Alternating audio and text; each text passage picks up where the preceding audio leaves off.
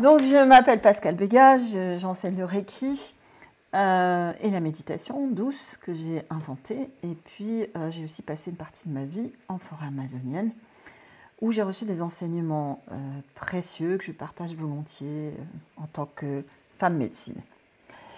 je suis maître enseignante de Reiki depuis 2008. J'ai eu mon quatrième degré de Reiki en 2008 et je pratique le Reiki depuis 2006. Donc ça fait quelques années euh, que le Reiki est arrivé dans ma vie.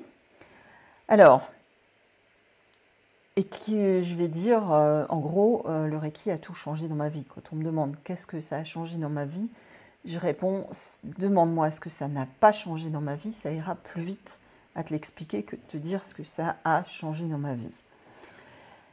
Qu'est-ce que c'est que le Reiki? Le Reiki, en fait, c'est un mot japonais qui veut dire Rei euh, universel, le monde, et qui l'énergie.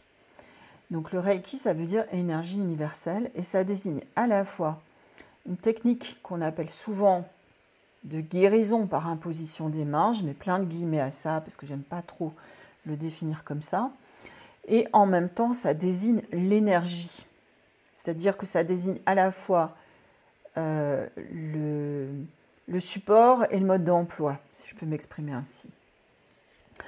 Moi, je dis que le Reiki, c'est l'énergie universelle, que c'est l'énergie d'amour, et que c'est surtout un formidable moyen de se retrouver soi-même, de se reconnecter à soi-même, et un moyen exceptionnel pour passer les épreuves de la vie. Vous savez bien que la vie, elle est souvent... Euh, avec des hauts très hauts et des bas très bas, et des hauts euh, plus ou moins hauts et des bas, et des hauts et des bas. Enfin, c'est pas trop un long fleuve tranquille. Enfin, pas la mienne, je sais sais pas la vôtre, mais la mienne non.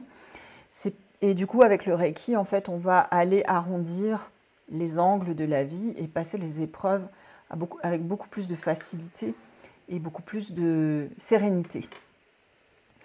Euh, on dit souvent que c'est une technique de guérison dans laquelle on va imposer les mains. C'est vrai.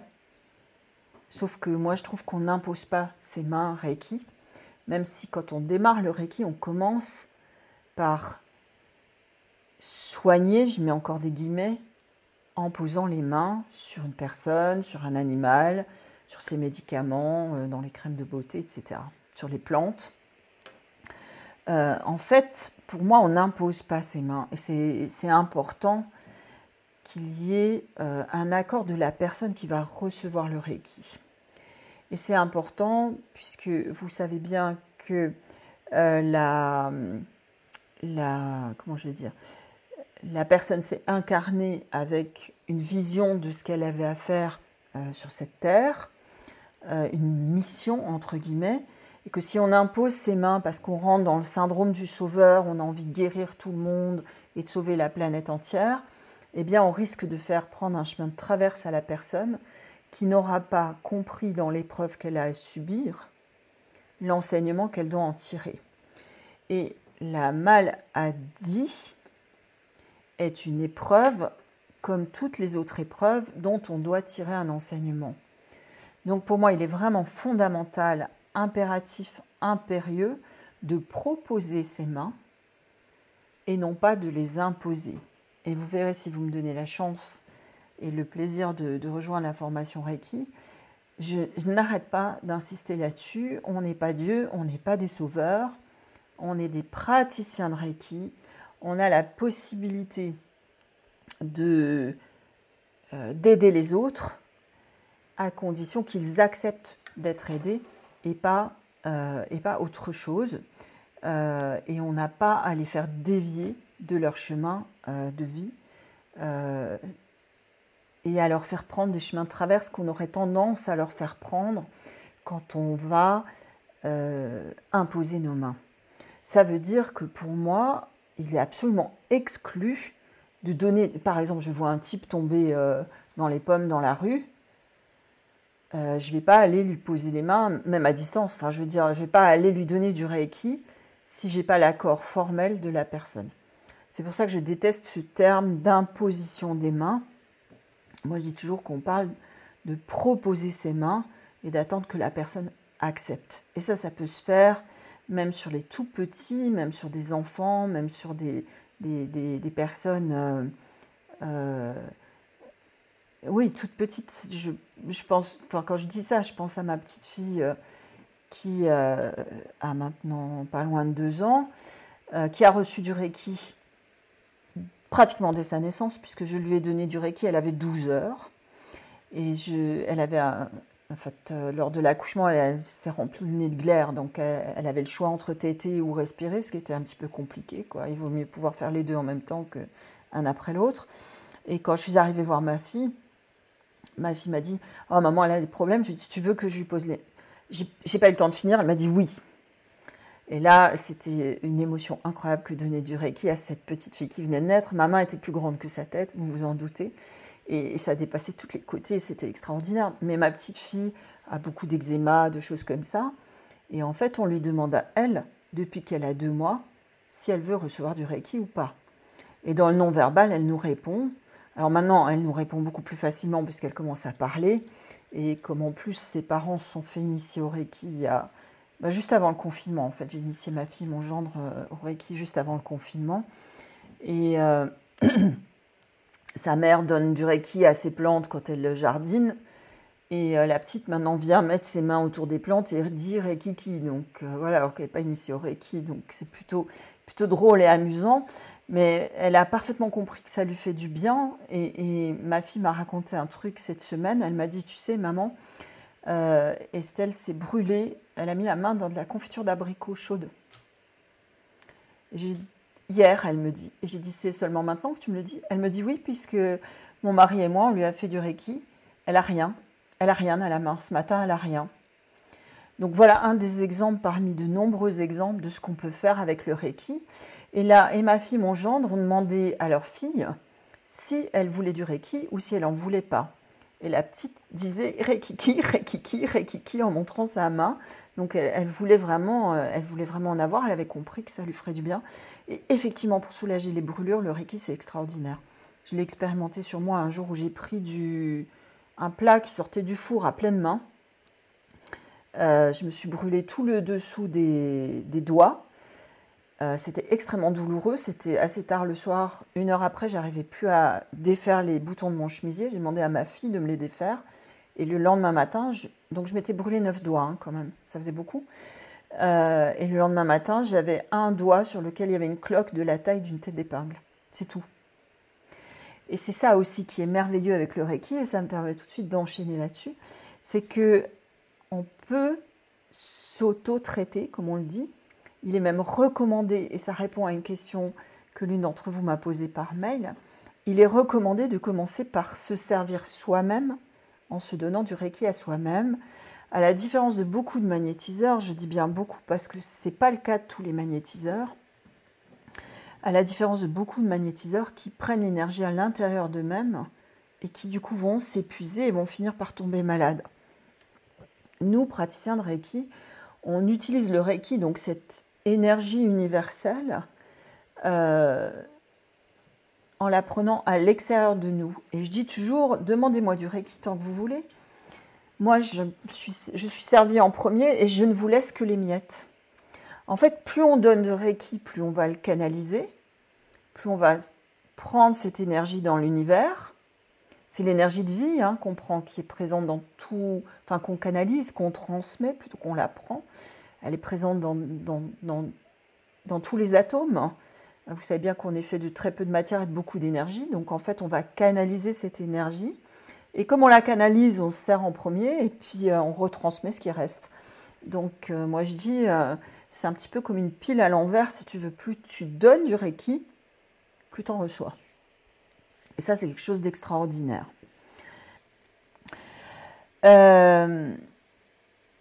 Alors, ce que je veux dire aussi, c'est qu'il n'y a pas de connotation ni religieuse ni sectaire dans le Reiki. Le Reiki, il a été retrouvé par un type qui s'appelait Mikao Zui, qui était un moine bouddhiste au début du XXe siècle, dans les années 20.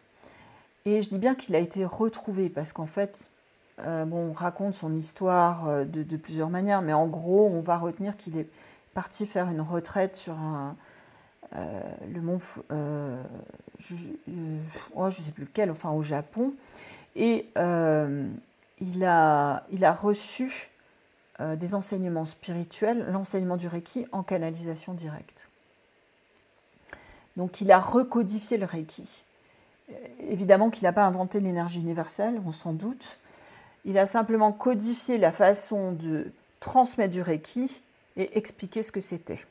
Alors je dis simplement, et en même temps, moi je le remercie tous les jours, parce que s'il ne l'avait pas fait, Mika Uzui, ben, je ne serais pas là pour vous en parler.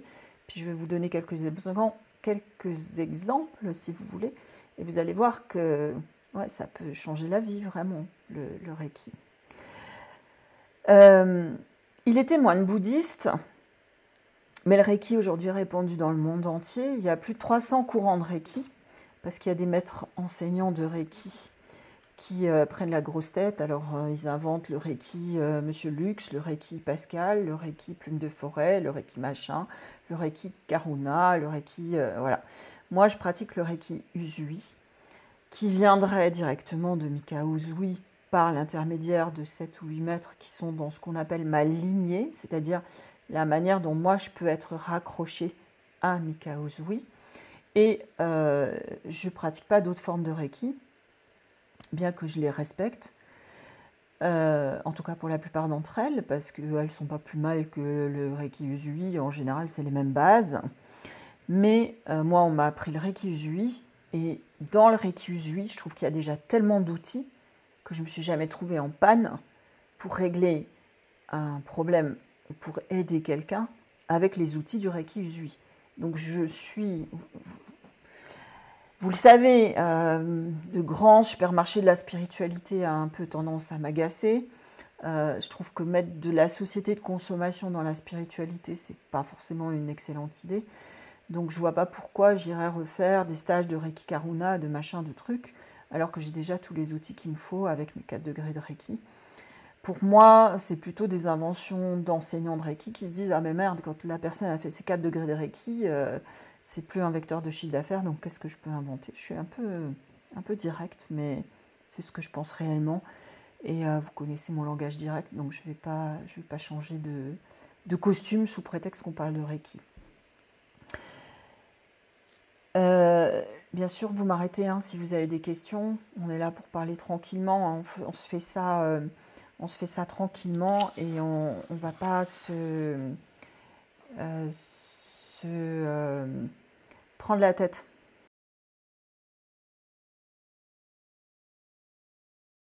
Donc, le, en fait, ça a été redécouvert par Mika Uzui, qui est un moine bouddhiste, qui était un moine bouddhiste au début du XXe siècle. Il a commencé avant, euh, avant non, je ne sais pas te raconter l'histoire d'avant, je ne la connais pas. Ce que je peux te dire, c'est que quand j'ai rencontré des chamans ou plus exactement des hommes médecine, parce que vous savez qu'en Amazonie, on ne dit pas chaman, c'est un mot sibérien. En Amazonie, on, dit homme ou femme médecine, mais euh, on a plutôt tendance, nous, à dire euh, chaman, parce que, bon, enfin bref, peu importe, on s'en fiche, on ne va pas faire de la sémantique. Quand j'ai rencontré ces hommes sages en forêt amazonienne, on a eu des conversations, évidemment, vous imaginez, et on s'est rendu compte très vite, on se rend compte très vite qu'on pratique de manière similaire qu'on utilise les yeux, le souffle, les mains, que juste ce qui change, c'est la déco, c'est le papier cadeau et la ficelle. Eux, ils mettent plus de plumes que moi, moi j'en mets moins, euh, je mets plus de japonisation, je vais dire que eux. Et vous pouvez même pas imaginer le bonheur que c'est que d'échanger dans ce contexte-là et de se rendre compte qu'on fait pareil à, à la déco près. Et ça, c'est extrêmement rassurant parce que l'énergie de vie, c'est la même, quel que soit l'endroit du monde sur lequel on, est positionné, quelles que soient les personnes à qui on fait ça ou avec qui on fait ça. Et du coup, pour les uns comme pour les autres, c'est extrêmement rassurant. Et moi, j'ai jamais fait autre chose euh, que du Reiki quand je vivais en Amazonie. Et un jour, j'ai dit à mon compagnon, j'en ai marre, je vais mettre un, truc, vous savez, un, un truc à ticket, là, comme, euh, comme à la boucherie du supermarché, euh, parce que c'était la queue devant chez moi. Ah ben j'ai ci, ah ben j'ai ça. Pascal, tu peux pas me soigner ci, tu peux pas me soigner ça. Ben si, viens, allez, mais tu sais, je vais pas passer ma journée quand même là-dessus. En fait, c'était pas mon métier à l'époque. Hein. Mon métier à l'époque, c'était d'être guide de tourisme en forêt amazonienne. C'était pas d'être euh, praticien ou enseignant de Reiki. Donc j'avais beaucoup de personnes du village qui, quand ils expérimentaient ce que je pouvais faire avec mes mains ou à distance, puisqu'on peut aussi faire du Reiki à distance, étaient assez friands de venir me voir pour les bobos locaux. Il faut dire aussi que le dispensaire, euh, l'infirmière, elle est là le matin, le médecin, il vient une fois par semaine. Donc, quand tu as un, praticien de Reiki sous la main, bah, y vas, quoi. Et c'est très intéressant. C'était très intéressant pour moi d'échanger avec ces personnes-là, d'échanger avec ces hommes et ces femmes médecines. Parce que, encore une fois, c'est rassurant. On se rend compte qu'on fait des choses très similaires. Et du coup, on construit des choses ensemble, on échange. Et ça, c'est vraiment, vraiment chouette et c'est vraiment sympa. Euh, donc, par rapport à la question que l'une d'entre vous m'a posée par mail, et ce que je disais, pour moi, le Reiki, c'est d'abord une pratique sur soi-même avant d'être une pratique sur les autres. Évidemment qu'on va pratiquer sur les autres et qu'on va aimer prendre soin de nos proches et qu'on va aimer pouvoir régler leurs petits bobos et qu'on va pouvoir aimer les aider dans des bobos plus lourds. Je pense par exemple à une amie très très chère que j'ai aidée il y a des années euh, alors qu'elle subissait une chimiothérapie. Et ça, ça je l'ai fait à distance. Elle était à Paris, moi j'étais euh, en Alsace à l'époque et je lui donnais du Reiki euh, très régulièrement. Les médecins, alors les effets, c'est que les médecins étaient scotchés par le fait que euh, sa chimiothérapie marchait très bien. Ils étaient étonnés des résultats. On dit toujours, nous, praticiens de Reiki, qu'on ne change pas une ordonnance, qu'on ne fait pas de diagnostic, qu'on ne modifie pas, moi je dis toujours, tu gardes ton traitement médical, s'il faut le changer, tu vas voir le médecin. Moi je ne suis pas médecin, je suis praticien de Reiki. C'est pas mal, mais rien que ça. Et donc euh, Catherine, cette amie, euh, non seulement sa chimio marchait très bien, mais euh, elle, elle avait beaucoup moins d'effets secondaires, elle avait beaucoup moins de malaise, de, nausées, de choses comme ça, et elle trouvait ça génial. Et euh, c'est vrai que ça, c'est très intéressant d'éviter euh, des effets secondaires dans, dans les traitements qu'on peut, peut avoir. Moi, je pense que le Reiki, en tant que médecine, entre guillemets, hein, là j'emploie le terme médecine au sens amérindien du terme, c'est activer euh, ses capacités d'auto-guérison, c'est diminuer des effets secondaires, c'est doper euh, la médecine classique. C'est pas la supprimer, c'est pas venir à la place d'eux. En tout cas, pas sur des cas lourds, sur des cas simples. Et encore, euh, je pense par exemple, certains d'entre vous le savent, je me suis fait une entorse pendant le confinement, une entorse de la cheville, c'était pas très pratique. J'ai eu la bonne idée de me confiner au carré. Euh, je suis tombée, j'étais toute seule dans mon jardin, je vis toute seule avec mon chien, donc euh, c'était pas mon chien qui allait me relever. Mon premier réflexe, ça a été de me donner du Reiki sur ma cheville. Je pouvais pas me relever. Je me suis donné du Reiki, ça a diminué la douleur immédiatement. Et puis après, euh, je me suis soignée avec à la fois des plantes d'Amazonie et du Reiki. Ce qui fait qu'au bout de deux semaines et demie, j'étais en forêt en train de marcher. Alors que d'habitude, pour guérir une entorse de la cheville, c'est au moins trois semaines avant de pouvoir remarcher normalement. Donc en fait, on va raccourcir des temps de traitement, on va euh, diminuer aussi des effets secondaires. Euh, et ça, c'est vraiment très intéressant. Et donc, on peut faire ça soit en posant les mains sur la personne. Je précise aussi qu'il n'y a aucun contact sexuel dans le Reiki. Hein. Si un jour on vous propose une séance de Reiki en vous disant commencez par vous déshabiller, la seule bonne réponse c'est de prendre ses clics et ses claques et de s'enfuir. Hein. Il n'y a aucun euh, besoin de se déshabiller. Le Reiki il passe sur les vêtements, il passe euh, au travers de tout et n'importe quoi. Je suis persuadée que vous mettez un mètre de plomb entre la main et le receveur, ça passe quand même. Hein. C'est pire que l'énergie nucléaire ce machin. Si, voilà, c'est ça que je disais. Je disais que ça peut soigner des petites choses complètement. Moi, je me fais une brûlure, je ne vais même pas avoir d'autre idée que de me donner du Reiki. Euh, mon chien euh, est pas bien. Euh, tiens, bah pareil, au début du confinement, mon chien a eu de la diarrhée, deux jours après le début du confinement. J'appelle Veto, qui est une amie. Elle me dit, bah, tu viens. Je dis, ouais, mais tu sais, on est un peu confiné, faire 40 bornes avec mon chien pour venir chez le veto, je suis pas sûre que si je me fais arrêter, ce soit une bonne idée, quoi. Elle me dit, alors elle me dit, bon, ça n'a pas l'air dramatique, on attend un peu. Puis je lui dis, mais ouais, mais rappelle-toi, je peux lui donner du Reiki. Elle me dit, donne du Reiki. Bah, le chien, en deux jours, il n'avait plus rien, tout allait bien, quoi. Euh, avec zéro médicament, cette fois. Puisqu'on peut donner du Reiki à des personnes en posant les mains et ou à distance. Et on peut donner du Reiki aux animaux, on peut donner du Reiki aux plantes, on peut mettre du Reiki dans les médicaments pour diminuer les effets secondaires. On peut mettre du Reiki dans les produits de beauté, dans ses aliments, dans l'eau qu'on boit, dans les documents commerciaux, dans les CV qu'on envoie, etc.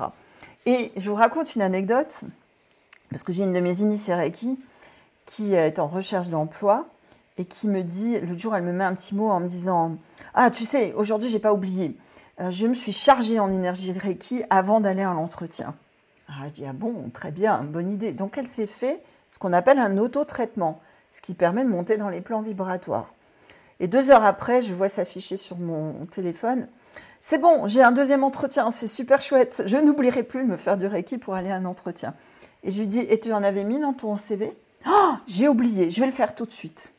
Ben, mettre du Reiki dans un CV, c'est prendre le CV et puis mettre les mains dessus et puis allumer le Reiki. C'est aussi simple que ça. Donc pourquoi pas le faire? Mettre du Reiki dans un produit de beauté, c'est prendre la crème de beauté, mettre les mains dessus, allumer le Reiki, laisser faire et puis euh, s'en tartiner. Et regarder les effets, ça se voit, non? Croyez pas. euh, CQFD, voilà. Euh, donc je vous disais, le Reiki, ça peut se faire en posant les mains. Ça, c'est les soins traditionnels de Reiki. Et c'est ce qu'on apprend au premier degré. Ou alors, ça peut se faire à distance. Et là aussi, c'est super pratique. Moi, je trouve que le Reiki, c'est magique. Parce que c'est simple, c'est pratique. On l'a tout le temps avec soi, sauf quand on vous coupe les mains. Et puis moi, on peut me couper les mains, j'arrive à le donner à distance. Donc même si on me coupe les mains, je peux encore en donner. Voilà. Euh, ma sœur habite Mulhouse et elle a eu le Covid euh, bien gratiné euh, méchant fin mars, début avril. Donc en plein au moment du pic de l'épidémie. En plus, ma sœur, elle a des problèmes de maladie graves, donc elle avait beaucoup de comorbidité, comme on appelle ça. Et elle est initiée Reiki, ma sœur? Ma sœur est initiée au deuxième degré, mais elle m'a assez vite appelée au secours, donc elle s'est auto-traitée, certes. Et donc moi j'habite à 45 km de Mulhouse, donc euh, confinement, impossible de bouger. Puis toutes les manières, je n'allais pas aller la chatouiller alors qu'elle avait le Covid. Hein. Je trouvais que c'était pas prudent. Et euh, donc même si j'avais pu me déplacer, je ne l'aurais pas fait. Mais par contre, j'ai pu lui envoyer du Reiki à distance, trois ou quatre fois par jour, pendant une bonne semaine. Et elle n'a pas été hospitalisée, ce qui était quand même un enjeu majeur à l'époque à Mulhouse. Alors il y a cet aspect d'enjeu. Et puis, euh, il y a aussi l'aspect euh, de combien ça fait du bien, même quand on est éloigné des siens, de pouvoir prendre soin d'eux. C'est un bonheur infini de pouvoir donner du Reiki à ma sœur alors qu'elle n'était pas bien et que je ne pouvais pas bouger. Et ça, c'est vraiment quelque chose qui est aussi vraiment euh, super chouette dans le, dans le Reiki et, euh, et qui est euh, super intéressant. Ça veut dire que, en fait, ça devient nos limites. C'est ce que je vous disais, moi, on peut me couper les... Enfin, D'abord, je dis souvent, j'ai ma trousse à pharmacie toujours avec moi. C'est assez pratique. Et même si on me coupe les mains, et on a fait ça à un moment donné, puisque euh, j'ai été dans le coma il y, a, il 8 ans et je me suis réveillée dans un lit de réanimation. Le Covid n'existait pas à l'époque, mais moi j'avais quand même été en pronostic vital engagé. Et comme je voulais, euh, je refusais le geste de l'intubation, j'ai tout le temps cherché à extuber moi-même euh, pendant mon coma. Donc il m'avait attaché les mains et heureusement qu'ils l'ont fait, ils m'ont sauvé la vie en faisant ça, parce que si je m'enlevais le truc, euh, je ne pouvais plus respirer, c'était un peu gênant. Et en fait, je me suis réveillée attachée. Et mon premier réflexe, ça a été de me donner du Reiki immédiatement. J'étais attachée, je pouvais aussi donner du Reiki aux seringues automatiques qui étaient à mon chevet et qui me balançaient des antibiotiques. Et heureusement que ça m'a balancé des antibiotiques. Et ce que je peux dire, et ce dont j'ai envie de témoigner, c'est que pendant cet épisode de coma, euh, ma sœur et mes enfants se sont arrangés pour mobiliser ce qu'on appelle une chaîne Reiki. C'est-à-dire que la personne est tellement malade qu'on on devrait, on doit lui donner de très hautes doses de Reiki. Elle consomme très vite cette énergie. Donc on ne peut pas passer sa journée à donner du Reiki à quelqu'un. Euh, donc on se met à plusieurs pour que chacun envoie du Reiki à son tour pour diminuer la tâche pour chacun. Et moi j'ai bénéficié d'une chaîne Reiki qui était organisée par 14 ou 15 personnes pendant que j'étais dans le, pendant que j'étais dans le coma. Je dis aujourd'hui que je dois la vie au fait que j'ai été très bien réanimée par une équipe extrêmement compétente. Le service de réanimation de Mulhouse, quand il n'y a pas le Covid, je peux vous dire que même en ce moment, ils sont extraordinaires. C'est là que j'ai été réanimée. Et aussi, j'ai bénéficié de très haute dose de Reiki à ce moment-là. Je pense que si je n'avais pas eu le Reiki que j'ai eu à ce moment-là, les promesses que m'ont faites les médecins au sortir du coma se seraient réalisées. C'était vous allez être dialysé à vie, votre appareil digestif, on n'est pas sûr de le récupérer, et vous allez être amputé de 9 doigts de pied. Euh, j'ai jamais été dialysée depuis que je suis sortie du service de Réa. à chaque fois qu'on me disait un truc, je disais non. On me disait comment vous faites? Je disais vous inquiétez pas, je respire dans mes reins, je respire. Donc j'ai jamais été dialysée depuis que je suis sortie du service de Réa. Mon appareil digestif, je mange je bois ce que je veux. Et euh, j'ai un seul doigt de pied qui est passé à la casse et ça, il s'est auto-amputé parce que bon, ça finit par s'infecter. J'ai récupéré les huit autres doigts de pied. C'est quand même un petit peu plus pratique pour marcher d'en avoir neuf que d'en avoir qu'un seul. Euh, et si je râle parce que quelquefois j'ai mal aux pieds, je me dis ouais t'as mal aux pieds mais t'es vivante et t'as finalement très peu d'effets secondaires. Je mène une vie quasi normale. J'expliquais hier à quelqu'un, euh, j'étais chez l'opticien, et, je lui expliquais qu'en fait, quand on sort de réa, on n'explique pas qu'il faut tout réapprendre. Moi, je ne pouvais plus écrire quand je me suis réveillée du coma. J'avais la main qui glissait. Je ne pouvais pas écrire. Je ne pouvais plus marcher. J'ai tout réappris.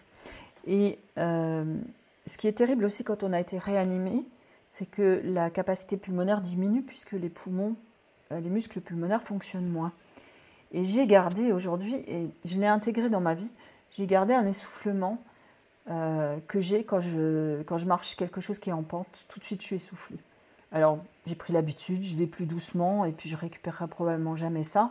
Et ça ne m'empêche pas d'aller marcher tous les jours en forêt avec mon chien et euh, de mener une vie normale. Et, voilà quoi. Je veux dire, par rapport à tout ce qu'on me promettait, c'est rien du tout.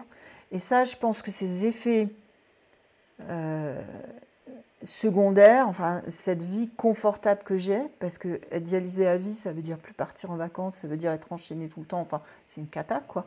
Euh, cette vie normale que j'ai, c'est probablement dû en grande partie au fait que j'ai reçu beaucoup de Reiki et que je m'en suis moi-même donné beaucoup, puisque dès que je suis sortie du coma, bah, à part regarder le plafond et les néons du service de Réa qui clignotent, euh, j'avais rien d'autre à faire que de me donner du Reiki. Donc je me donnais du Reiki euh, une grande partie du temps où j'étais réveillée dans la journée ou la nuit. Et euh, ça m'occupait et ça a été vraiment bienfaisant. Donc c'est dans ce contexte-là que je veux dire que le Reiki, ça aide à soigner. Mais je vais être très claire sur le fait que si j'avais eu que du Reiki, jamais de la vie j'aurais survécu. Donc c'est vraiment pour moi l'alliance entre les deux qui est un, super dopant, qui euh, en fait c'est la synergie entre les deux qui est chouette. Ce qu'il faut savoir, c'est que le Reiki, euh, il y a eu plusieurs tentatives, enfin il y en a tous les ans, de, le, classer euh, dans les dérives sectaires.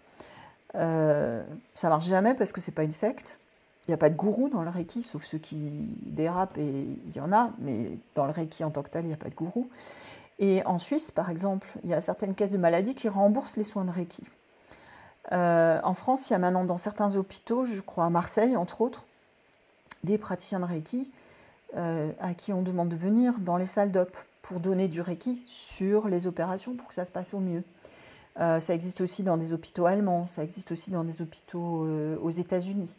Aux États-Unis, il y a des personnes aussi qui donnent du Reiki dans des prisons, avec des effets très importants sur les niveaux de stress ressentis et sur euh, les automutilations des, des prisonniers. En fait, il y a beaucoup plus de sérénité ou de calme dans les prisons où il y a des praticiens de Reiki qui interviennent que dans les prisons où il n'y en a pas. Il y a même une prison aux États-Unis où il y a des initiations proposées aux, prisonniers, donc des formations au Reiki proposé aux, prisonniers. C'est vraiment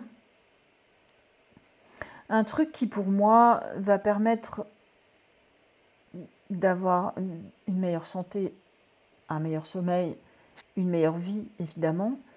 Euh, c'est aussi quelque chose qui va permettre d'aller euh, chercher dans des blocages énergétiques. Je ne sais pas si vous vous rappelez pour les personnes qui étaient avec moi hier soir, il y a une personne qui est initiée au deuxième degré et qui, vient de se, faire, euh, de se former au deuxième degré de Reiki et qui expliquait qu'elle avait fait un protocole qui lui permettait de rompre un lien toxique avec son amoureux. Vous vous rappelez? Et euh, donc elle, elle a fait quelque chose dans l'énergie. Et moi, je savais que ça allait pas bien. Elle m'en parlait depuis un mois en me disant euh, Je sais pas si je vais le quitter, je sais pas si je reste avec lui. Un jour, elle est folle amoureuse en disant Ce mec extraordinaire. Le lendemain, elle dit C'est un connard, il faut que je m'en aille. Enfin, voilà. J'étais très étonnée de ce qu'elle a dit hier parce que elle a fait l'acte, elle a choisi cette personne pour faire l'exercice que, je lui proposais de, de rompre ces liens toxiques. Et euh, je ne sais pas si vous avez observé ce qui s'est passé. Elle a dit, c'est cette personne qui m'a demandé la rupture. Elle se posait la question, est-ce que je vais rompre, est-ce que je vais pas rompre? Un jour c'était blanc, un jour c'était noir. Et en fait, elle a fait un protocole qui permet de rompre le lien toxique. Et donc ça, elle l'a fait dimanche. Et hier, euh, vendredi soir, elle témoignait du fait que cette personne lui avait demandé de rompre entre dimanche et hier soir. Donc ça va extrêmement rapidement et elle n'a rien eu à faire. Je ne sais pas si vous avez observé comment elle était. Elle était en joie de dire ça. Elle était en joie de dire, mais finalement, je suis dans l'acceptation, etc. Donc on est parti sur autre chose. Mais euh, ce que je ressentais moi, c'est que, en fait, bah, il n'y a même rien à faire. Tu demandes le truc, à l'univers et puis, euh, et puis ça marche. Donc ça marche sur des tas de choses en fait. Euh, on parle souvent de la guérison, je mets des guillemets à guérison hein, parce que c'est pas guérison au sens médical, mais c'est guérison au sens aller mieux. La guérison, enfin que le Reiki va provoquer des guérisons sur le corps physique, sur le corps émotionnel et sur le corps spirituel. Et ça c'est vraiment très important. Et ce dont elle parlait, c'est la guérison du corps émotionnel, donc la guérison aussi des relations interpersonnelles euh, que l'on entreprend au deuxième degré de Reiki.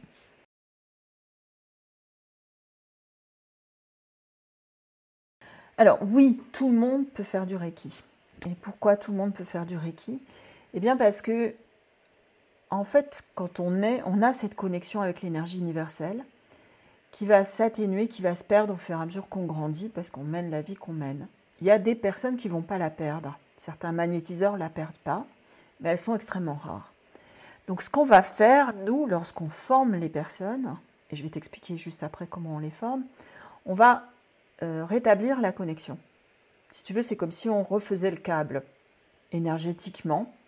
Et une fois qu'il est rétabli, on est ce qu'on appelle initié à vie, c'est-à-dire que tu peux pratiquer du Reiki tout de suite, si tu n'en pratiques pas pendant 40 ans et que d'un seul coup tu as besoin de Reiki et que tu dis Reiki on, eh ben, tu peux repratiquer du Reiki.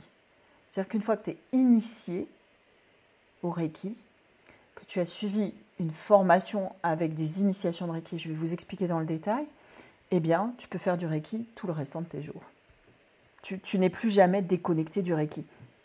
Et je t'assure, depuis 14 ans que je vois euh, des gens se faire initier au Reiki parce que J'ai été à de nombreuses euh, formations de Reiki, euh, puisque mon maître de Reiki nous propose de revenir autant qu'on le souhaite aux formations auxquelles on a assisté. Et je propose ça aussi. Et c'est important. je fais juste une parenthèse là-dessus. C'est important parce qu'au fur et à mesure qu'on va avancer sur le chemin, le même enseignement, on ne le reçoit pas de la même manière. tu sais bien, c'est comme quand on lit des bouquins euh, quand on les rouvre aux différentes périodes de sa vie, on ne prend pas les mêmes choses. En tout cas, on n'entend pas les mêmes choses et ça, c'est vraiment très important. Puis en plus, ça permet de réviser, ça permet euh, de, de, se remémorer des choses et c'est vraiment important. Donc, je ne sais pas, j'ai dû assister peut-être à 50 formations de, de Reiki. 35 de premier degré, c'est certain, parce que j'adore l'énergie du premier degré. Et donc, j'ai vu euh, des, des, centaines de personnes faire initier au Reiki. Je n'ai jamais vu personne ne pas pouvoir donner du Reiki dès le premier rituel du premier degré. Donc c'est tout de suite. Et chez moi, euh, dès que tu peux en donner, tu es mis au charbon. C'est-à-dire que tu repars pas sans avoir donné du Reiki, parce que sinon tu vas jamais le faire. Et c'est important que tu ressentes cette énergie dans tes mains. C'est une énergie qui est très subtile, c'est un ressenti qui est très particulier, euh, pour lequel j'ai un petit exercice que je, que je vous propose de faire et qui vous permet de... Moi j'adore vous voir dans ces cas-là, parce que vous êtes là, ah, mais c'est ça Waouh c'est vraiment de ce registre-là. quoi. Vous avez vraiment l'impression que c'est magique. Et on sait que le Reiki, il est là. Euh, moi, je dis toujours qu'il s'allume ou qu'il s'éteint, ou que j'allume mes mains. C'est quelque chose de très subtil, c'est quelque chose de très particulier. Et c'est très intéressant de voir comment les animaux le ressentent.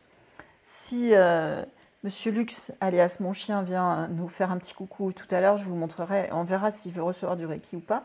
Parce que les chiens, en tout cas les animaux, nous, les chats, pareil, nous indique aussi oui, j'ai envie d'en avoir ou non, ton truc là, j'en ai rien à faire, j'en ai pas besoin, je pars faire autre chose. C'est très impressionnant de les voir faire.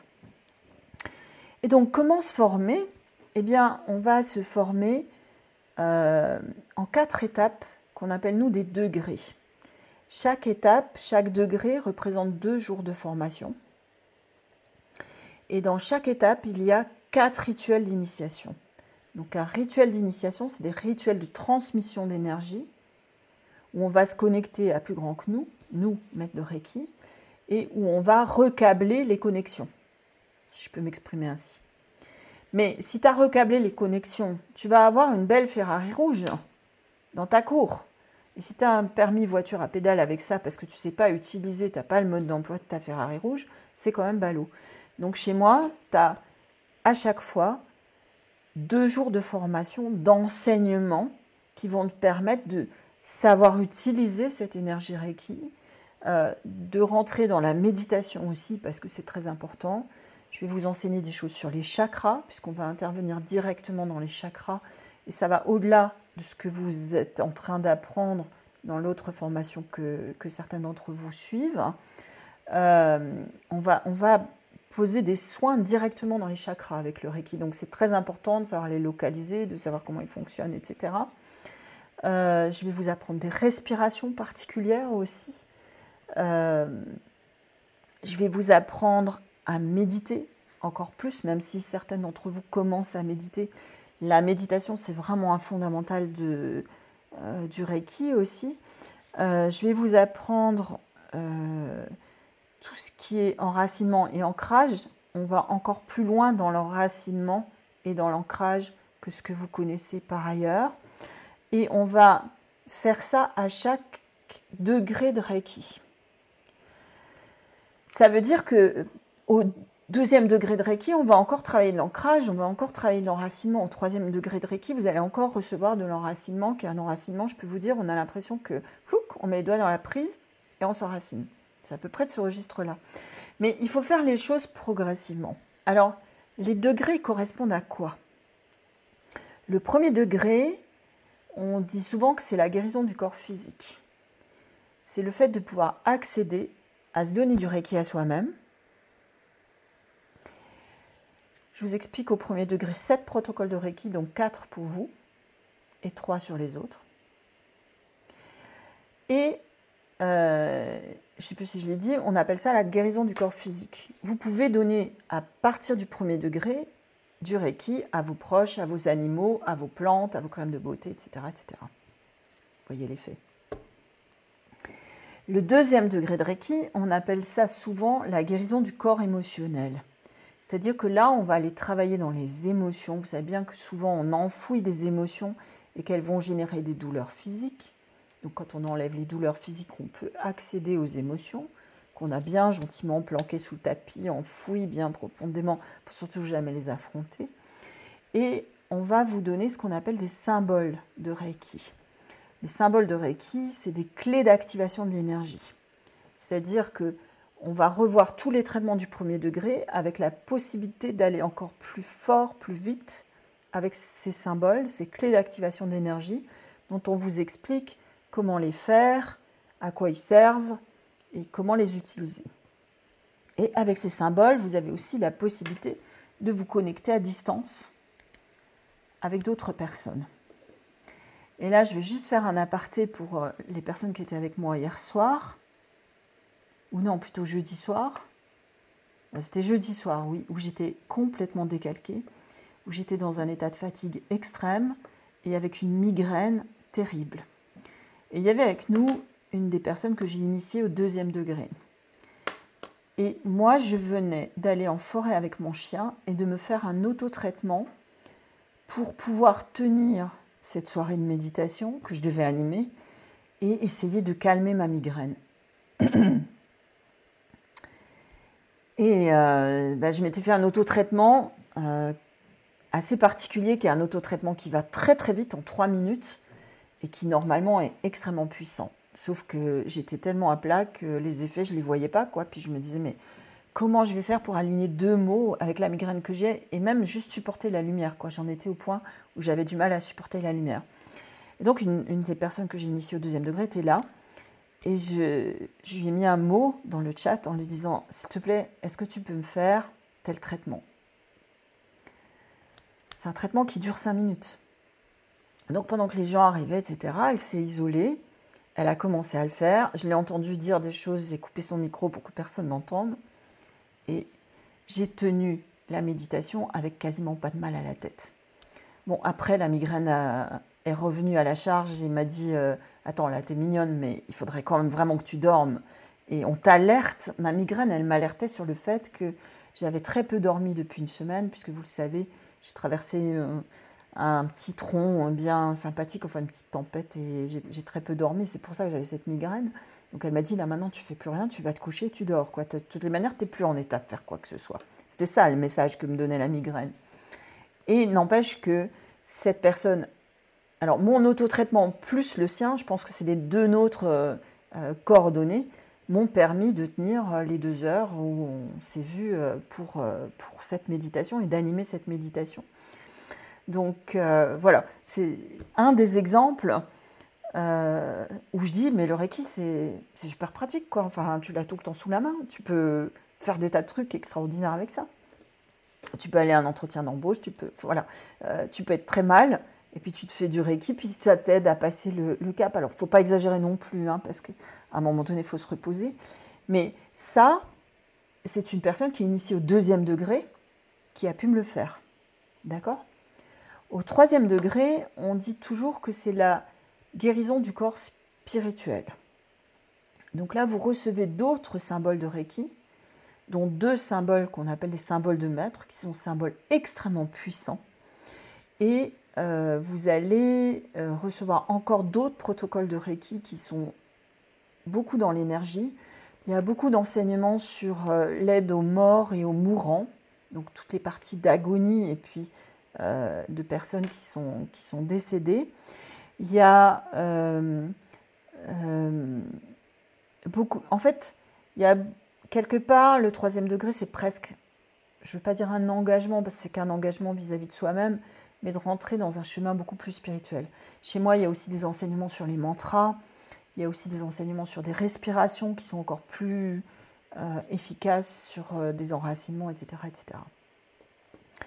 Et puis, pour terminer ce panorama sur les différents degrés, il y a aussi un quatrième degré, qui est euh, le degré où on transmet à la personne les rituels d'initiation. C'est-à-dire qu'avec le quatrième degré, on peut devenir enseignant de Reiki. J'ai oublié de le dire, à partir du troisième degré, on peut poser sa plaque en ville et devenir praticien de Reiki. On n'a plus besoin de rester dans un, dans un cercle de proches. Au troisième degré, on a tous les outils du Reiki sauf les rituels d'initiation qu'on transmet au quatrième degré, euh, parce qu'on ne peut pas tout faire. À un moment donné, le troisième et le quatrième degré étaient, que le troisième degré, puis ils ont été scindés en deux. Il y a trop de choses à dire, donc ce sont deux degrés différents. Alors on a donc quatre degrés, mais il y en a d'autres, parce que sinon ce serait pas rigolo. Il y en a quatre en fait qui sont transmis par des hommes ou des femmes, des maîtres enseignants de Reiki, et puis les autres ils sont transmis directement. C'est-à-dire qu'on les reçoit en direct. Euh, en tout cas, moi, ceux que j'ai reçus, je m'y suis jamais attendue. Mais par contre, on sait qu'on est initié à ce moment-là. C'est extrêmement puissant, c'est extrêmement fort. Ce que je veux dire aussi, c'est que c'est pas parce qu'on a 52 degrés qu'on est plus fort qu'au premier degré. Moi, j'ai vu euh, des personnes euh, au premier degré avoir plus de ce que j'appelle la puissance de feu que certains maîtres de Reiki. Pourquoi? Parce qu'en fait, ils sont dans l'authenticité, dans la simplicité, dans l'honnêteté, et que certains maîtres de Reiki, ou d'autres, enfin je prends cet exemple-là parce qu'il est extrême, un premier, quatrième degré, euh, d'autres euh, ont oublié ces valeurs de simplicité, d'humilité, d'authenticité, et du coup euh, sont un petit peu moins efficaces.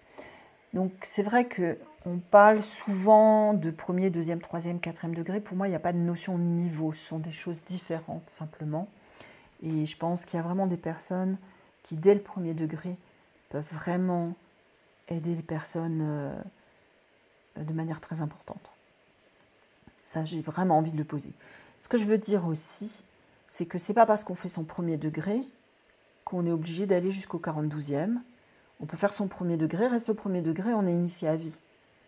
On fait son deuxième degré quand on a envie, si on en a envie, avec la personne avec qui on a envie. Ça, c'est très important de choisir un enseignant de Reiki, un maître de Reiki. Alors, on appelle ça un maître de Reiki, j'aime pas ce mot-là parce que ça fait gourou. Maître, c'est la traduction de sensei qui veut dire instituteur en japonais. C'est pour ça que moi je dis maître enseignant de Reiki. J'aime pas me prendre la tête. Euh, et puis on n'est jamais que ça, un transmetteur et rien d'autre.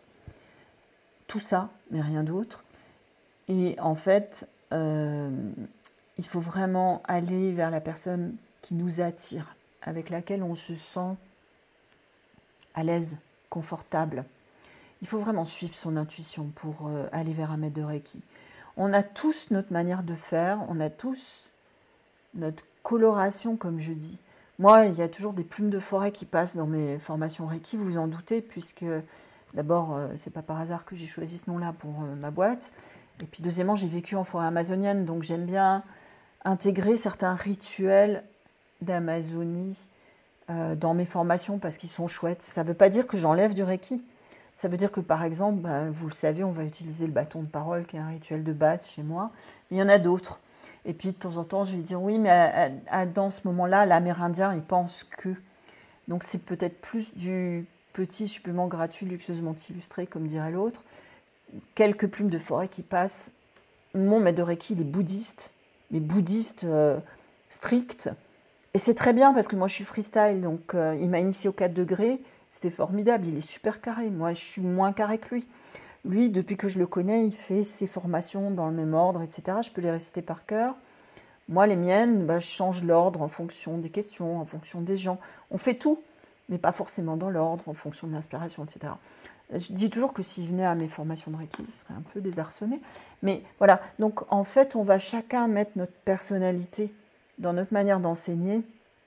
Et c'est vraiment très important pour moi que vous soyez à l'aise avec la personne que vous choisissez si vous souhaitez vous faire, euh, si vous souhaitez vous former au Reiki, si vous souhaitez vous faire initier. C'est fondamental.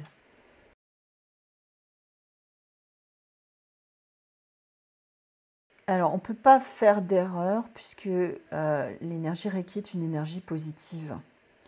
C'est-à-dire que la, plupart des magnétiseurs vont enlever du négatif. Nous, on n'enlève pas négatif. Si tu veux, si ça c'est une personne, on va donner du Reiki qui va pousser le négatif dehors. On ne va pas prendre le négatif pour l'enlever comme font les magnétiseurs. Donc il y a plein d'effets secondaires au Reiki, mais aucun effet néfaste, à ma connaissance. Il n'y a que des effets positifs.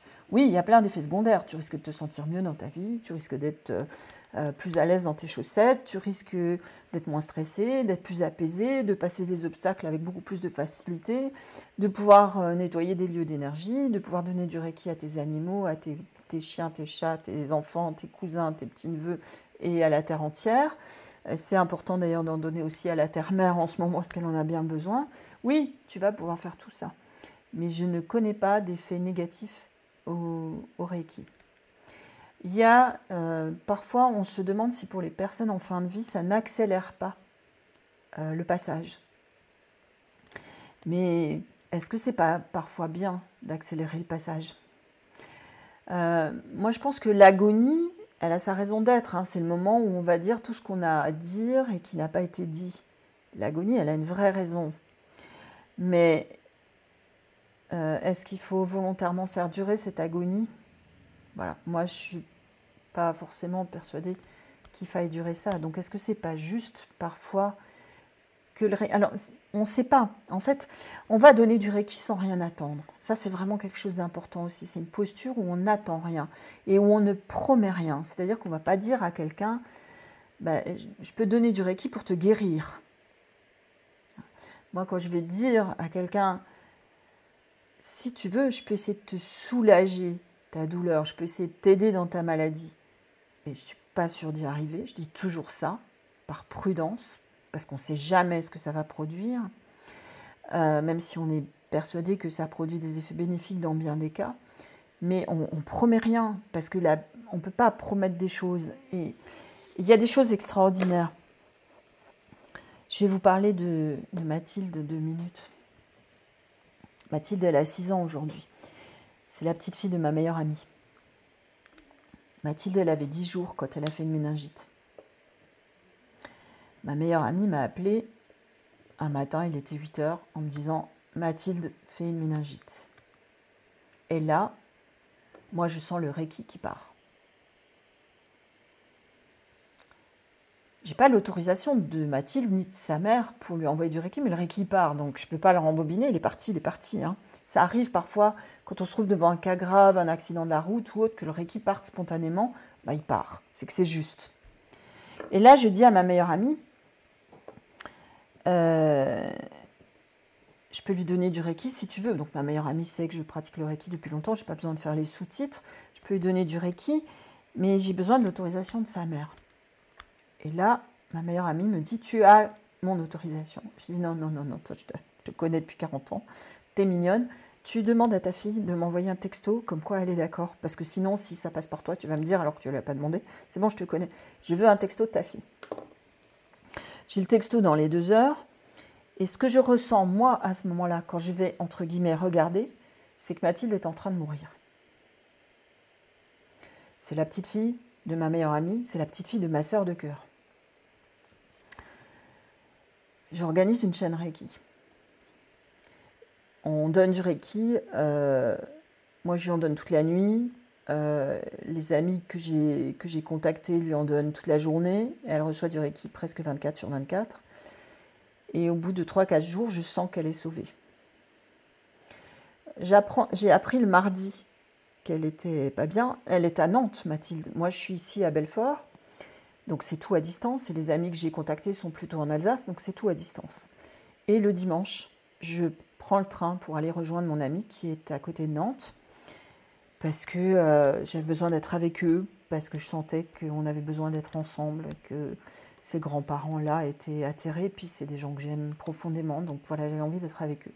Donc quand je suis arrivée à Vannes, je savais que probablement Mathilde était sortie d'affaires. Elle était encore en réa, euh, néonatale, au CHU Nantes, etc. Je n'ai rien dit. Je n'avais pas le droit de dire que moi, je ressentais qu'elle allait s'en sortir. J'en savais rien. Je ne suis pas médecin. On a appris ensemble le mercredi, par les médecins, que Mathilde allait avoir la vie sauve. C'était un moment extraordinaire. C'est un moment dont je me rappellerai toute ma vie. Et ce qui s'est passé, c'est qu'on a continué la chaîne Reiki, on, a continué à lui donner du Reiki pendant 3-4 semaines. Et moi, j'ai continué plus longtemps. J'ai aujourd'hui une connexion très très particulière avec Mathilde. Mathilde, c'est ma petite fille de cœur, vraiment. Euh, ça a été ma première petite fille et il y a une connexion très particulière avec elle. Je ne vous, fais pas tous les détails parce que c'est une longue relation et une belle relation. Et aujourd'hui, les médecins sont scotchés parce que sur les IRM de Mathilde, il n'y a aucune tâche. Alors que sur ces IRM, vu ce qu'elle a eu, il devrait y avoir des, lésions, des dégénérescences, etc. cérébrales. Mathilde est une petite fille très gaie, très épanouie, très intelligente, presque trop intelligente, et qui va très très bien. Alors après, on tire les conclusions qu'on veut. Et elle a, encore une fois, été très bien soignée au CHU de Nantes, en, en réa néonatale, on est bien d'accord. On tire les conclusions qu'on veut. Moi, j'ai assez tendance à dire que, d'une part, c'était bienfaisant pour nous, et je parle de moi, de ma meilleure amie, de sa fille, euh, de, ce grand-père qui est un ami aussi, c'était extrêmement bienfaisant pour nous de savoir que on agissait et qu'on était plusieurs à agir pour Mathilde. Et moi, j'ai quand même l'impression que ça lui a permis d'avoir euh, moins de tâches, moins de, d'effets euh, secondaires euh, cérébraux et que bah, c'est quand même juste un peu important. Quoi. Donc voilà, une, histoire du, Reiki où, il y a cette alliance, encore une fois, entre les deux et où on a pu envoyer à distance et où moi je savais le moment où ça a basculé et je me suis interdit de dire quoi que ce soit. Imaginez si j'avais dit quelque chose en disant Mathilde est sauvée et puis que pour une raison ou une autre je me sois trompée, ça aurait été terrible. Donc il y a des choses comme ça qu'on ne dit pas, qu'on ne peut pas dire, même si on les ressent. Et j'espère que vous allez voir, plus on avance dans ce Reiki, plus on, ressent des choses, plus on sait des choses, plus on, je ne vous l'ai pas dit, au troisième degré, c'est amusant, on peut scanner les chakras d'une personne qui rentre dans une pièce. C'est très pratique. Si vous avez un type qui rentre dans la pièce avec un chakra 2 qui fait bah vous savez qu'il veut juste coucher avec vous. Si c'est le chakra 4, le chakra du cœur qui fait vous savez que c'est une relation un peu plus euh, aimante qu'il a envie d'avoir avec vous. Ça fait partie des petites anecdotes, mais on peut, on peut savoir comme ça plein de choses. Euh, je le tourne évidemment à la rigolade, mais on peut avoir des informations très précieuses sur l'énergie que véhiculent les personnes. Il y a des trucs encore super pratiques. J'ai été amputée d'un doigt de pied. Je vous l'ai dit, hein, j'en ai un qui s'est amputé tout seul, ça s'est infecté, donc ils ont un peu rogné plus loin. Et c'était sous bloc, donc euh, une anesthésie locale, donc on entend la pince qui fait clac. Et moi, j'avais foutu du Reiki sur la salle d'opération pour que tout se passe au mieux. J'entends la pince faire clac. Et tout de suite, j'ai fermé la cicatrice dans l'énergie avec le Reiki. J'étais sur la table, j'ai fermé la cicatrice tout de suite. Ça fait sept ans que j'ai été amputée d'un doigt de pied, je n'ai jamais eu la moindre douleur fantôme. Jamais. On peut fermer comme ça des cicatrices énergétiques. Quand on est opéré, il y a, des, coupures dans l'énergie aussi. Donc on a des fuites énergétiques, on peut les fermer extrêmement facilement. C'est le, pour fermer, je ne vais, pas vous montrer comment je fais, je mets mes mains volontairement en dessous. Vous voyez là, je commence pour fermer. C'est fait. Voilà. Donc c'est ça, quelque part, on a, on a l'impression que c'est un peu magique.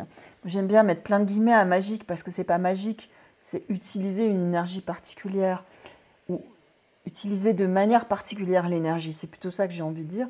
Et c'est toujours dans le positif, mais on obtient des résultats incroyables avec ça. Euh, certains d'entre vous connaissent, peut-être Sylvie, qui est infirmière en, Normandie. Sylvie, elle, est initiée au premier degré depuis euh, le week-end de l'Ascension. Elle propose des, à des patientes qu'elle soigne de leur donner du Reiki. Elle a des résultats incroyables. Elle m'écrit souvent en me disant Ah, j'ai telle patiente qui me dit que ah, ses plaies cicatrisent plus vite, ah, si, ah, ça. Enfin, c'est. Voilà quoi. C'est plein, de, plein de choses qui sont euh, extrêmement intéressantes et qui permettent vraiment de faire des trucs euh, sympas quoi. Je m'arrête un instant, je vais appeler mon chien pour voir s'il veut du Reiki, mais je vous laisse euh, me poser vos questions en attendant, puis je bois un petit coup. Viens. Est-ce que tu veux du Reiki Viens. Tu en veux? Assieds-toi. Voilà, je vous présente pour celles qui ne le connaissent pas, Monsieur Lux, mon fidèle compagnon. Donc je baisse un peu l'écran pour que vous voyez. Donc là, moi j'allume mes mains Reiki. Est-ce que tu en veux? Alors c'est dommage parce qu'il tourne la tête dans le mauvais sens vers moi. Tu veux dire qui Voilà.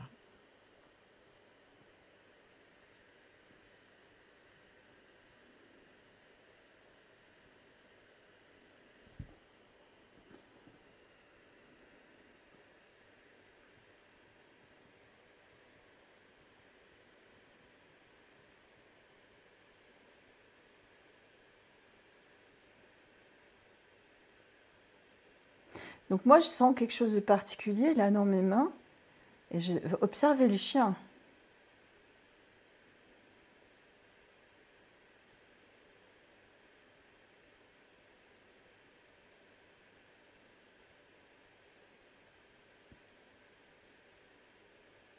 Encore? Ou c'est fini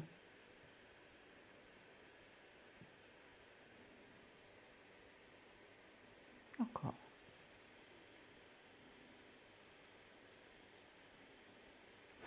C'est pas du tout la même chose. C'est bon, hein, je crois que c'est fini, ouais. C'est pas du tout la même chose quand on lui. Ah oui, ben moi aussi je suis dans C'est pas du tout la même chose que de le caresser. Je peux lui donner du reiki comme ça aussi. J'ai mis mes mains à distance parce que je le sentais comme ça, vous voyez? Et c'est pas du tout la même chose quand je lui en donne ou quand je le caresse. La réaction du chien n'est pas la même. Et souvent mes chiens se mettent comme il est lui là maintenant, assis. On le voit pas bien là. Assis pour recevoir du reiki, se mettent typiquement dans cette position là. On l'a expérimenté aussi parce que je vous l'ai pas dit, mais en ce moment, les formations Reiki, on les fait ici sur Zoom. Parce que euh, deux jours de formation Reiki d'affilée avec euh, le virus qui pointe son nez dans la formation, moi, j'ai pas envie. En plus, on a la chance de pouvoir envoyer les rituels d'initiation à distance, puisqu'on sait envoyer du Reiki à distance, on sait aussi envoyer les rituels d'initiation à distance. Et on l'a expérimenté, ça marche très très bien. Euh, enfin, on l'a expérimenté pendant le confinement et depuis. Hein. et moi, euh, d'ici la fin de l'année, j'ai pas du tout envie de faire des formations euh, classiques en présentiel parce que je trouve qu'on n'est pas en sécurité. Donc en fait, au lieu de faire deux jours, en ce moment, ce qu'on fait, on fait quatre après-midi, deux week-ends d'affilée. Donc un samedi après-midi, dimanche après-midi, et le week-end d'après, on refait un samedi après-midi, dimanche après-midi, parce que tenir toute une journée sur Zoom, c'est difficile. Et rassurez-vous, dans les après-midi, on fait une grande pause d'une demi-heure, on prend le temps qu'il faut. Le seul truc qui change par rapport à quand on faisait des, formations en présentiel, c'est qu'on ne goûte pas ensemble. quoi. Donc c'est dommage parce qu'on ne goûte plus les excellents gâteaux au chocolat des unes ou des autres, les bons euh, financiers au, thé matcha, etc. Mais à part ça, ça revient vraiment au même. Et en tout cas, on se sent tous en sécurité, vous comme moi, euh, pour donner du Reiki. Et euh, qu'est-ce que j'étais en train de dire? Euh, Oui, dans mes formations Reiki, il y, a toujours, ben, y a toujours mon chien déjà, pour commencer. Il y a souvent des chiens d'autres. Puisque moi, quand on me dit est-ce que je peux venir avec mon chien, je dis bah oui, s'il si s'entend bien avec Lux, il n'y a pas de problème. quoi. Et on a vu euh, des, personnes venir avec leur chien et commencer à donner du Reiki dès le premier rituel, donc dès la première fin, milieu d'après-midi. Et, le chien est là, ah, j'en veux encore. S'il te plaît, donne-moi. Enfin, c'est vraiment impressionnant. C'est pas que sur mon chien à moi, c'est sur les chiens de tout le monde que ça, que ça fonctionne. J'ai une expérience aussi avec un cheval extraordinaire. Encore une fois, je vais avec ma meilleure amie qui est cavalière depuis toujours. Moi, les chevaux, fait 40 ans qu'elle essaie de me faire monter à cheval, j'ai pas envie. Puis...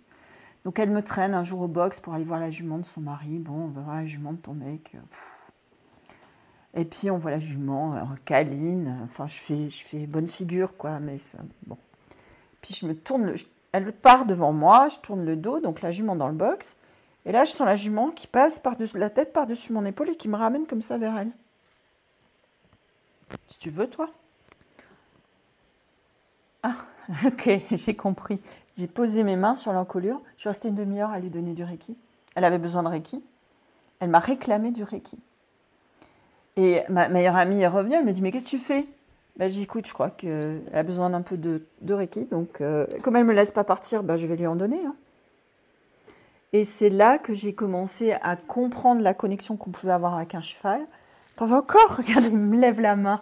Et euh, à, après, c'est comme ça que j'ai commencé à monter à cheval, avec beaucoup de bonheur et beaucoup de plaisir. Mais c'est parce que la jument m'a ramené comme ça en me disant s'il te plaît, donne-moi du Reiki. C'est vraiment très impressionnant comme les, animaux sentent et réclament euh, du Reiki.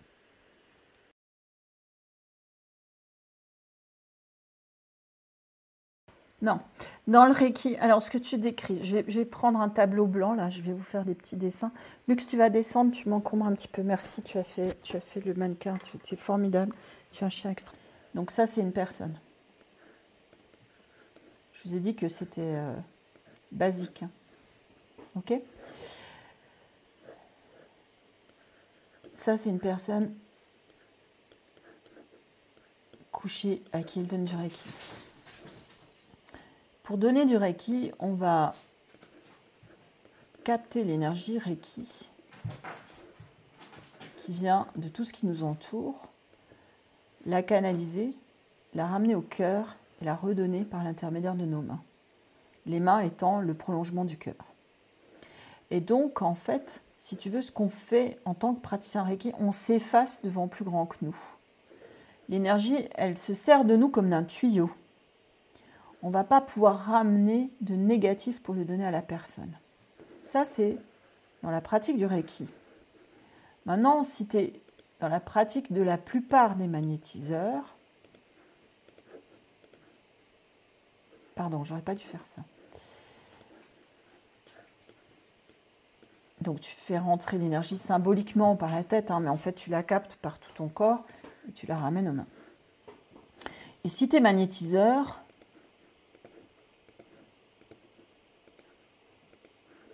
tu vas plutôt prendre l'énergie comme ça, à l'intérieur de toi, pour la donner.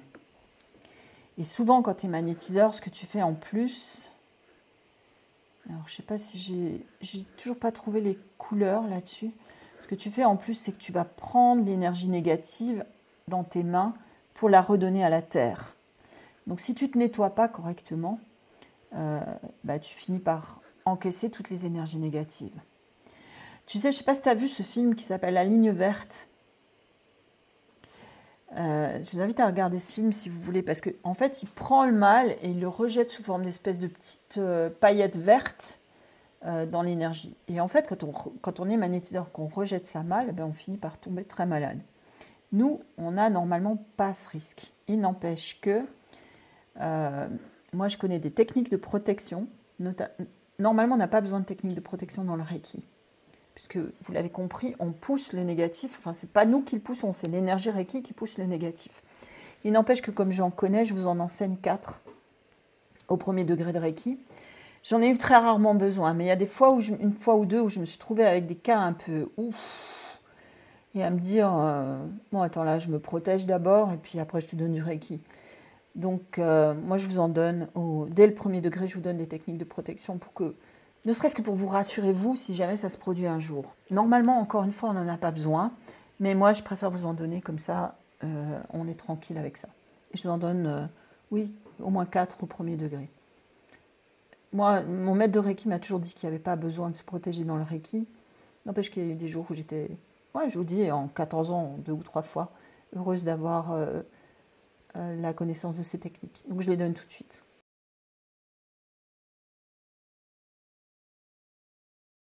Non, j'ai jamais vu ça dans le Reiki.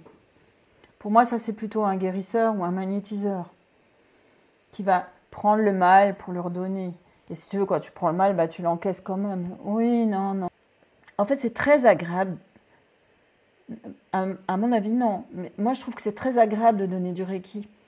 Encore une fois, plus t'en donnes, plus tu te charges toi-même au passage. C'est vraiment agréable de donner du Reiki. C'est euh, un vrai plaisir. Je sais pas comment te le, définir. C'est. Euh, ouais, c'est du bonheur. Je sais, sais pas dire autrement.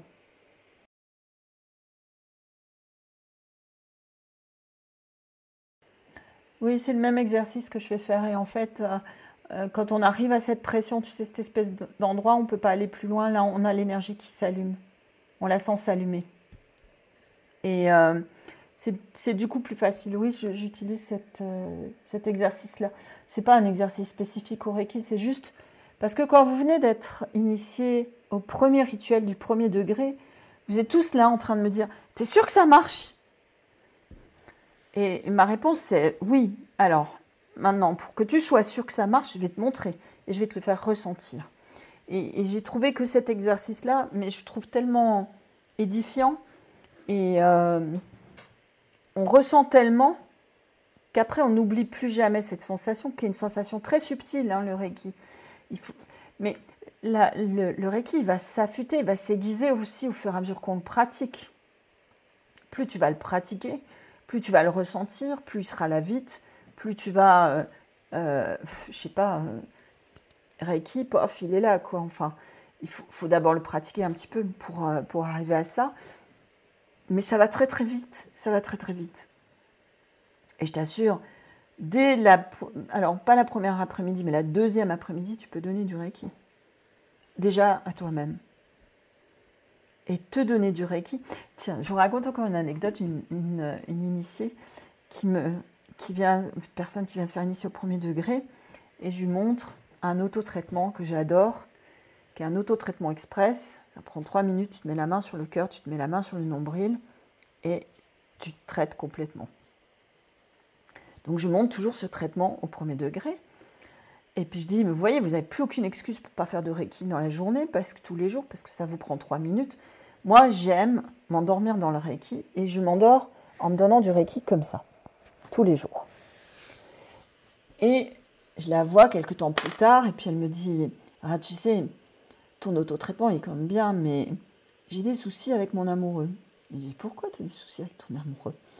Me dit parce qu'on s'endormait tous les soirs main dans la main et là maintenant je m'endors comme ça. Donc il est un peu en peine.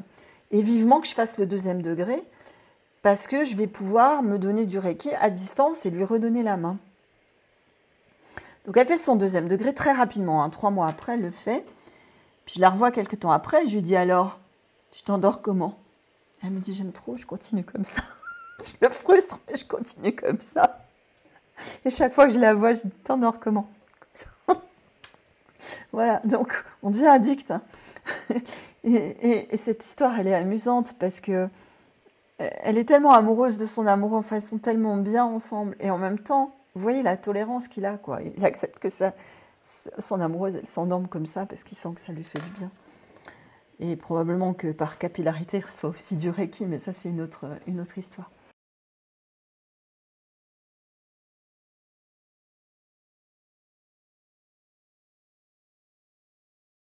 Eh bien, pour moi, l'énergie négative, c'est l'énergie qui va rendre malade, c'est l'énergie qui va rendre mal dans sa peau, c'est l'énergie qui va... Euh... T'as raison, Marie-Françoise. En fait, plutôt que de dire énergie négative, on devrait dire un plan vibratoire de registre plus faible. Euh, en fait, dans, avec l'énergie Reiki, on va monter dans les plans vibratoires. Et quand on monte dans les plans vibratoires, on se sent mieux. Alors, ce n'est pas une connotation péjorative que dire énergie négative, ce serait plus un raccourci de langage, je vais dire. En tout cas, je sais que moins on va être dans des plans vibratoires élevés, plus on a tendance à être malade, à être dépressif, à être pas bien dans sa peau, à être fatigué, à être euh, en colère, etc., etc. Et que plus on est dans des plans vibratoires euh, élevés, que je qualifierais d'énergie positive, plus on va être euh, en bonne santé, ou plus on va être en forme, ou plus on va être à même de passer les épreuves.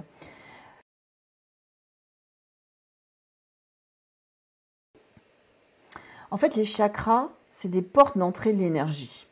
C'est pas de l'énergie. Les chakras, c'est des endroits sur le corps et dans les corps énergétiques par lesquels l'énergie universelle rentre. On parle parfois de chakras ouverts ou de chakras fermés. Si les chakras sont fermés, moi quand on me dit j'ai chakras bloqués ou fermés, je rigole parce que t'es, pas, t'es mort. Alors moi, non, j'ai chakras fermés. Oui, mais si tu as les chakras fermés, tu es mort. Parce que l'énergie ne peut plus rentrer. Donc on n'a jamais les chakras fermés quand on est encore capable d'en causer, ça c'est déjà une première chose. Après, ce qu'on va faire, c'est faire vibrer plus ou moins les chakras pour que l'énergie rentre plus ou moins. Et ça, pardon, on travaille beaucoup là-dessus au troisième degré de Reiki notamment. Mais euh, pour moi, on va plutôt, dès le premier degré, travailler ou donner la possibilité d'équilibrer les énergies entre différents chakras. Et ça, on va le faire avec nos mains. Donc, je ne sais pas s'il faut donner une vraie connotation négative à de l'énergie négative. En fait, c'est un, raccourci de langage. Ce serait plutôt euh, des énergies où la personne ne se sent pas bien dans sa peau. Et grâce à l'énergie Reiki ou positive ou universelle, on va pouvoir l'amener à se sentir mieux dans sa peau. C'est plus exact de dire ça. Donc je vous ai dit que mes formations Reiki en ce moment elles se font à distance, enfin à distance ici sur, euh, sur Zoom, hein, on sait quoi, ça fonctionne bien. les rituels, je les envoie à distance quand j'ai fermé mon ordinateur, parce que j'ai quand même besoin, moi, de me connecter dans les plans vibratoires. Et à côté d'un ordinateur, c'est pas très pratique. Vous les ressentez ou vous les ressentez pas? Une expérience assez rigolote, la première fois qu'on l'a fait. J'étais en train d'envoyer, il y avait 10 personnes. Les groupes chez moi sont limités à 10 personnes. J'étais en train d'envoyer à la huitième personne et je sais très précisément à qui j'envoie. C'est-à-dire que c'est assez étonnant, mais je ressens l'odeur de la personne, je sens la texture de ses cheveux, je sais euh, je sais la forme de ses mains, puisque dans l'initiation, on va taper à un moment donné dans les mains. Je sais la forme de ses mains, je sais la texture de sa peau, je sais. C'est pour des personnes que je n'ai jamais rencontrées et qui sont à des centaines de kilomètres. La, première fois, ça m'a un peu scotché. Et euh, donc, je sais très précisément à quelle personne j'envoie quand, et j'avais oublié de, de couper mon téléphone, et mon téléphone sonne, j'étais à la huitième personne, je me dis, bon, bah, je vais faire les deux autres personnes, de toutes les manières, je ne vais pas redescendre dans les plans vibratoires pour remonter, ça va, quoi. Euh, le téléphone sonne, je le laisse sonner. et c'était euh, la septième personne qui m'appelait en me disant, je sens des fourmillements dans les doigts, est-ce que c'est normal? Voilà, donc euh, ça fait partie des anecdotes rigolotes du Reiki, mais je vous promets que c'est vrai, quoi c'est impressionnant. C'est vraiment impressionnant. Moi, euh, je ressens quand mon, guide spirituel m'envoie du Reiki. Euh, vous le savez, en début de semaine, j'ai traversé un gros morceau et euh, j'en ai parlé évidemment avec lui. Et puis, mercredi après-midi, j'étais mais sereine, bien, toi. Donc, je lui mets un mot. Il est, au Québec, il est à Montréal et moi je suis à Belfort. Je lui mets un mot et je lui dis merci pour l'énergie. Il me dit Ah, t'as reçu? Je dis oui. En fait, c'est même pas la peine que je lui demande s'il a envoyé. Bon, il a une autorisation permanente de m'en envoyer, ça c'est clair. Mais je, sens quand il m'en envoie. Et euh, il me sentait pas bien, donc il m'a donné un petit, un petit coup de pouce alors que je lui avais pas demandé, c'est vraiment sympa. Et c'est vrai que ça m'a permis de, d'atteindre très vite après ce gros deuil des zones de, de quiétude euh, de sérénité, même s'il restait de la fatigue à absorber, la zone de quiétude et de sérénité, elle était là. Et, euh, je reviens sur l'abandon à ce qui vient et l'ouverture à ce qui vient, c'était là. Mais c'est vrai que le petit coup de pouce énergétique, euh, ouais, c'était, c'était bon à prendre. Vraiment bon à prendre. Donc voilà. Qu'est-ce que je veux vous dire d'autre? Oui, dans mes formations Reiki, il y a aussi des petites choses qui sont intégrées dedans. J'envoie du Reiki à distance. Ce n'est pas des soins, j'envoie du Reiki à distance avant et après l'initiation de Reiki. Pour, avant pour vous préparer à recevoir cette énergie et après pour vous aider à vous familiariser avec parce qu'en fait vous changez de plan énergétique. Donc euh, il faut quand même apprendre euh, à vivre avec. En général ça se passe bien. Euh, il y a la, possibilité de, je vous l'ai dit, hein, de revenir à toutes les formations Reiki euh, gratuitement aussi longtemps et aussi souvent que vous voulez, euh, qu'elle soit ici sur Zoom ou qu'elle soit en présentiel à Belfort. Vous pouvez revenir une demi-heure, vous pouvez revenir deux jours, vous pouvez venir quand vous voulez, il n'y a, a, pas de problème à ça. Au contraire, vous êtes bienvenue. Et ça, c'est une chance que j'ai vraiment envie de, donner à tout le monde. Donc si vous êtes initié au deuxième degré chez moi, par exemple, vous pouvez revenir à tous les rituels de premier degré et à toutes les formations de deuxième degré. Donc ce que je ne vous ai pas dit aussi, c'est que quand je vous forme au Reiki, je vous donne un livret de Reiki qui ressemble à ça en moins moche, parce que le mien il est un peu amorti, comme diraient mes filles. Euh, ça c'est celui du premier degré et il fait 53 pages. Il y a dedans tout ce que je vous explique pendant les deux jours ou les quatre après-midi de formation.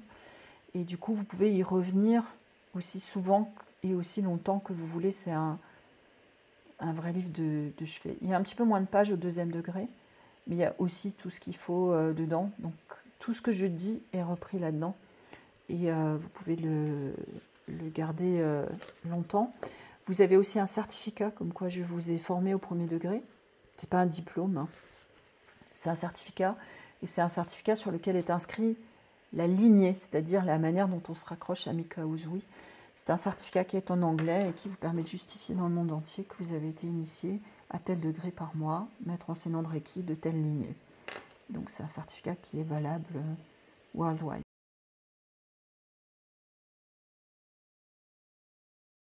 Changer quand tu veux. Mon maître de Reiki, il a été formé par euh, Frank Brown au premier et au deuxième degré et par euh, Sylvia Hyper au troisième, quatrième degré.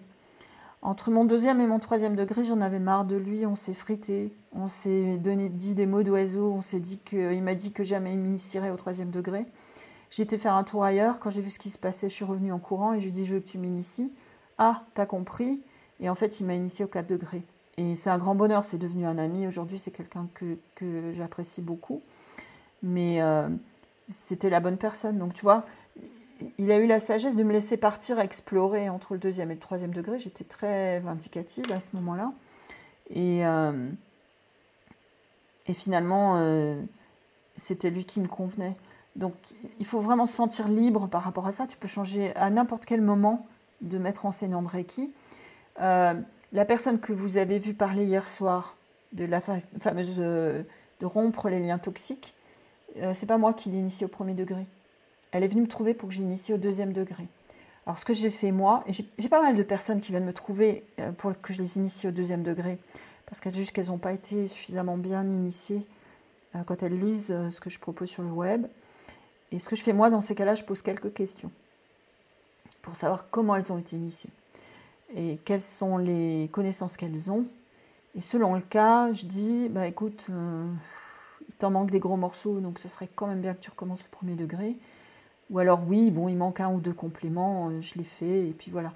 Euh, la personne qu'on a vue hier, il manquait un ou deux compléments, on a passé une heure sur Zoom ensemble, c'était bon, il n'y avait pas besoin de faire refaire un stage complet.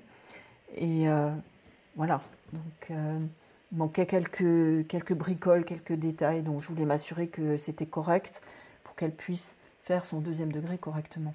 Parce que vous comprenez bien qu'on ne fait pas un deuxième degré euh, si on n'a pas toutes les bases du, premier degré. Quoi. On, dit qu'entre le premier et le deuxième degré, il faut attendre au moins trois mois.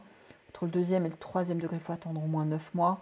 Et entre le troisième et le quatrième degré, il faut attendre entre 12 et 15 mois. Le temps de pratiquer, de digérer, de ressentir, euh, de s'habituer au plan énergétique dans lequel on est. Et puis il y a des personnes qui mettent beaucoup plus de temps. Au deuxième degré, là, le week-end dernier, j'ai initié une personne que j'avais initiée en juillet de l'année dernière au premier degré. Voilà, il faut le faire quand on, quand on le sent, et jamais tu ne me verras venir te voir en disant Et eh, qu'est-ce que tu fais là? Tu ne veux pas faire ton deuxième degré moi, je vais attendre que les gens me contactent en me disant euh, j'ai envie de faire mon deuxième degré, est-ce que je peux le faire? Alors, bien sûr, j'envoie des mails en disant il y a les dates, etc., pour que les gens sachent, mais euh, je ne vais pas aller chercher les gens et les tirer par la manche pour leur dire tu devrais faire ton deuxième ou ton troisième ou ton quatrième degré. C'est à eux de le savoir, c'est pas à moi.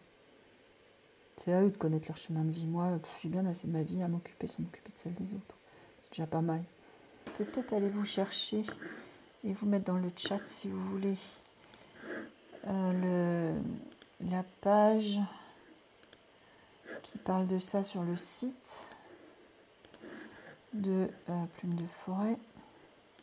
Voilà, je vous mets le lien dans le, dans le chat, mais si vous avez des questions, je vous réponds bien volontiers. C'est clair pour vous?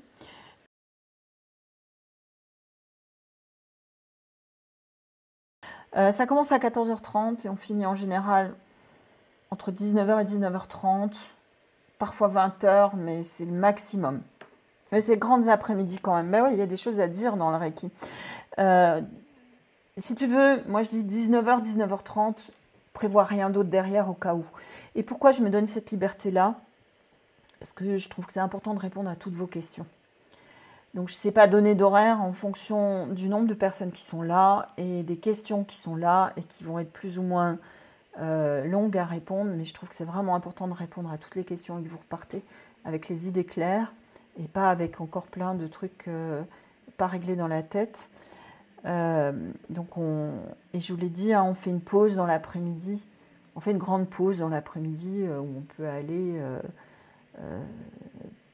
prendre l'air, fumer sa cigarette, boire sa tisane, manger sa tablette de chocolat, enfin la vie quoi, la vraie vie. Il y a une chose que je demande, c'est d'éviter de boire de l'alcool pendant la formation de Reiki, parce que évidemment que c'est pas une bonne idée. Et si vous pouvez éviter de manger de la viande, c'est bien aussi, parce que la viande c'est plus lourd à digérer. Après, si vous avez vraiment envie de manger de la viande et de boire un verre de vin, le faites. Hein. Bien d'accord. Mais après la formation pour le verre de, vin, il n'y a pas de replay des formations Reiki, euh, puisque là aussi c'est quelque chose où on va parfois livrer des choses qui sont très intimes et qui restent entre nous, dans le groupe, et il n'y a pas de replay. Et il faut être là les quatre après-midi, parce que sinon, évidemment, on ne peut pas être initié complètement. Donc, euh, il faut évidemment trouver la place dans son emploi du temps. Mais quand on a, quand on a besoin, envie et qu'on est appelé par le Reiki, la place se fait assez naturellement. Et euh, je fais confiance à la vie pour ça. De toutes les manières, si vous avez des questions, vous savez où me joindre. Hein. Euh, vous pouvez toujours utiliser le formulaire de contact sur le, le site web de Plume de Forêt et, m'interroger ou euh, me téléphoner. Je suis disponible du jeudi matin au dimanche soir. Euh, je ne travaille pas les lundis, mardis, mercredis. Si vous voulez me joindre les lundis, mardis, mercredis, je vous invite à utiliser plutôt le mail que je regarde en général une fois par jour. Mais sinon, vous pouvez me joindre plus facilement euh, du jeudi au dimanche. Comme je forme des gens le week-end, euh, j'ai besoin de me reposer en début de semaine. Voilà. Merci beaucoup Pascal, c'était très éclairant et bon, ça donne envie de, poursuivre notre chemin avec toi un petit bah, Écoute, euh, welcome, tu sais, tu sais comment faire et tu sais que tu seras toujours accueilli avec plaisir en tous les cas. Et sens-toi libre et faire les choses à ton rythme, ça c'est vraiment important. Euh, et, merci aux personnes qui nous regarderont en replay parce que de cette euh, conférence en ligne, il y aura un replay où on me verra moi et où vos questions, euh, je vais les intégrer sous forme de, texte pour préserver votre, votre vie privée aussi, c'est important. Et donc merci à tous ceux qui regarderont ce, tous ceux, à tous celles qui regarderont ce replay. Je vous souhaite une euh, très belle fin de journée, une euh, bonne soirée et une bonne nuit. Et puis je vous retrouve à bientôt avec grand plaisir. Ciao